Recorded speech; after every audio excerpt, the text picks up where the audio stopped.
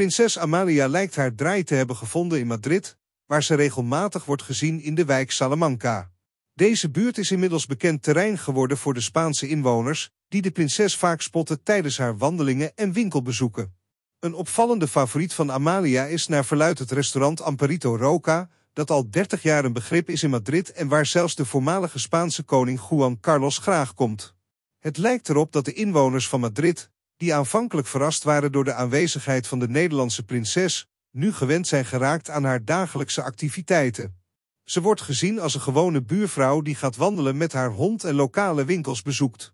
Hoewel niemand precies weet waar Amalia verblijft, wordt verondersteld dat ze zich in een van de welvarendste delen van Salamanca bevindt.